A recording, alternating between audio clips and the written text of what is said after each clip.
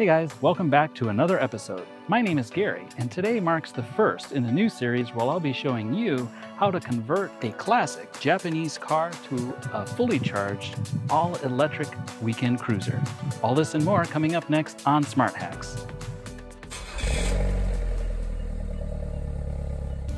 Our first stop takes us back to the year 1989 when Nissan unveiled its newest addition to their Pike car lineup at the Tokyo Auto Show.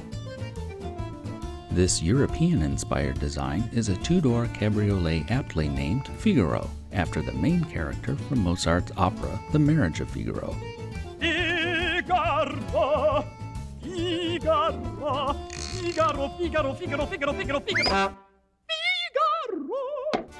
Stylistically, it's similar to the Italian Vespa 400 from the late 50s. Did you know Vespa built cars? The Figaro also bears a striking resemblance to the 1953 Fiat Topolino, or better yet, the 1950 Gutbrod Superior of German origin. From wherever designer Kobata Yoshiro drew his inspiration, the Figaro continues to bring smiles for miles. With an initial build plan of 8,000 units, there was such high demand, Nissan held a buyer's lottery and later increased the total production line to 20,000. 1991 was the only year that they were produced and marketed in Japan. With front wheel drive and 76 miniature horses tucked under the hood, the factory equipped turbocharger was a necessity. The national speed limit back then was a mere 100 kilometers or 62 miles per hour. Despite being 300 pounds lighter than a Mazda Miata, the Figaro's 0 to 60 time is roughly 13 seconds. In fact, that's what prompted me to look at alternative power sources. My first exposure to an all electric vehicle came from a 2014 Top Gear clip featuring an EV Mercedes SLS pitted against its petrol powered twin brother. But it wasn't until the summer of 2018, after watching John Wayland and his converted 1972 Datsun 1200 in an episode of The Fastest Car on Netflix, that I began thinking about doing an EV conversion of my own. I started researching on the internet and found that Garage Speedwell, a shop that specializes in restoring Nissan Pike cars, had done what must be the first EV conversion of a Figaro way back in 2011. They blogged about the entire process and posted many photos that helped guide my planning.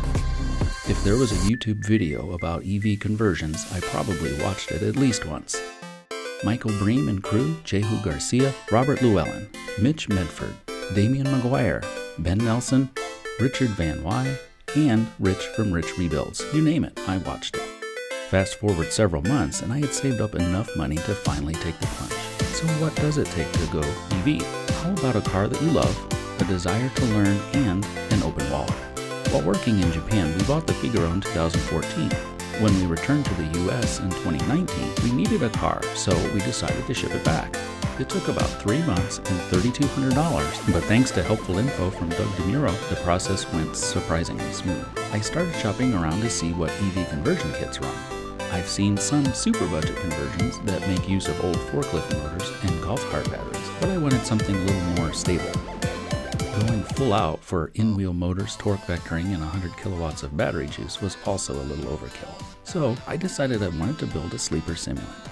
That is to say, understated on the outside, but high tech under the hood, and seats and trunk, and anywhere else I could stuff a few battery cells. So there you have it. It's an ambitious project for me and my son to do together this summer, and I can't wait to tell you more about who's helping us with this build and what we've got planned. What kind of car would you convert? Leave a comment below to tell us all about it.